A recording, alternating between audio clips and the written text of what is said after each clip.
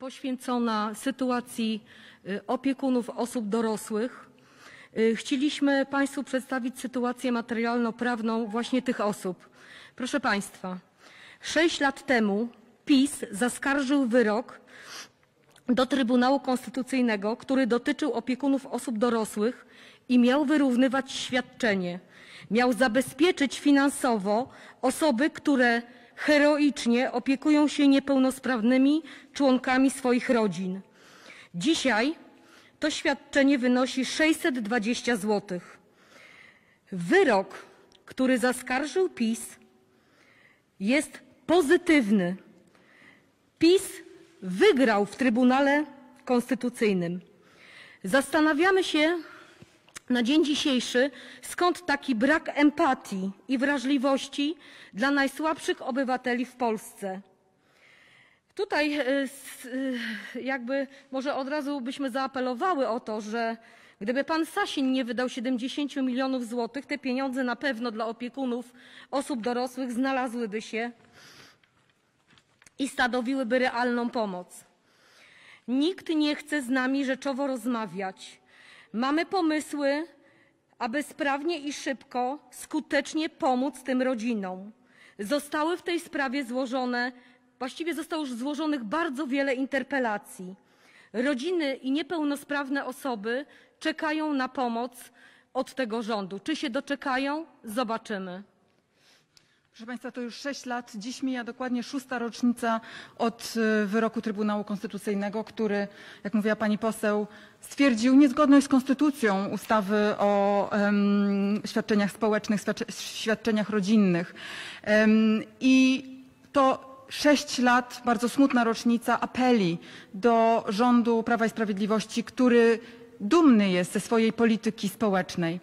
E, I co miesiąc, co tydzień słyszymy o historiach, e, takich jak pan Stanisław, który zgłosił się zaledwie kilka tygodni temu do mojego biura poselskiego w Warszawie. Pan Stanisław e, opiekuje się swoją starszą matką i nie przysługuje mu z tego powodu żadne świadczenie, absolutnie żadne świadczenie go nie obejmuje.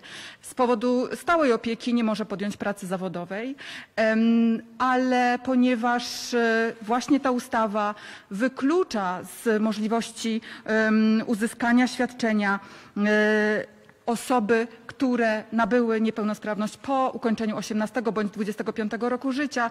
To jest właśnie ten element zakwestionowany przez Trybunał Konstytucyjny 6 lat temu, ponieważ tak się, ponieważ ta ustawa wciąż nie została zmieniona i dopasowana do Konstytucji artykułu 32, który pan Stanisław wykluczony jest z wszelkich form pomocy.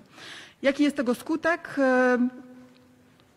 Zarówno pan Stanisław, jak i jego starsza matka o znacznym stopniu niepełnosprawności żyją w Warszawie, w centrum miasta mm, o, na, o dochodzie na poziomie 200 zł dochodu rozporządzalnego. To jest 100 zł na osobę, to jest e, życie na granicy ubóstwa. Pan Stanisław, bardzo zdesperowany, napisał nawet do premiera Jarosława Kaczyńskiego z prośbą o pomoc.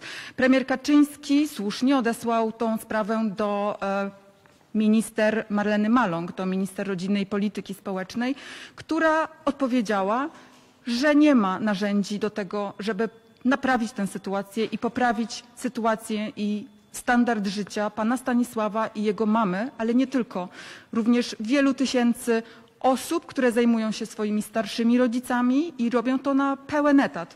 Również małżonków, którzy opiekują się swoimi małżonkami z niepełnosprawnością, bo ich również wyklucza ta ustawa e, z jakiejkolwiek e, pomocy, jakiejkolwiek możliwości e, zasiłku. I ja chciałam w tym miejscu powiedzieć, e, zwrócić się do pani minister, ponieważ zwróciłyśmy się już z e, inter, e, interpelacją, z zapytaniami mm, i wciąż nie otrzymujemy odpowiedzi. Zwrócić się z panią minister, do pani minister z apelem. Pani minister, pani ma wszelkie narzędzia, żeby tę ustawę naprawić, żeby ujednolicić ją z zapisem artykułu 32 Konstytucji o tym, że wszystkim nam przysługują te same prawa, niezależnie od wieku. E, mm, Ja spróbowałam nawet projekt takiego, takiej ustawy napisać.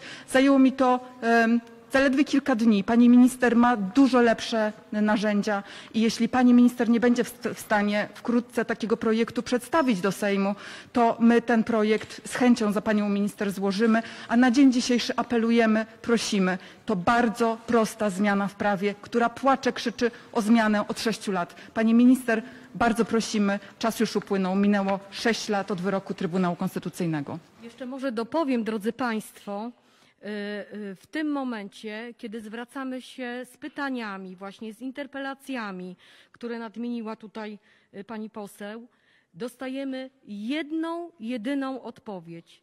Trwają prace nad orzecznictwem. Na jakiekolwiek różne, bardzo ważne teraz w pandemii zapytania o osoby niepełnosprawne, Wciąż jest jedna odpowiedź. Pracujemy nad orzecznictwem, więc bardzo apeluję z tego miejsca do pani minister Maląg i do ministrów odpowiedzialnych za osoby z niepełnosprawnościami. Nie możecie państwo odpowiadać na każde nasze ważne pytania, że pracujemy nad orzecznictwem. My bardzo trzymamy kciuki za to nowe orzecznictwo, ale proszę państwa, przyszedł czas, żeby rozwiązywać również problemy osób najsłabszych w Polsce y, musimy upominać się o te osoby, które same tego nie zrobią, więc bardzo prosimy o szybkie załatwienie wyroku Trybunału, które PiS wygrał. Dziękujemy bardzo. Dziękujemy.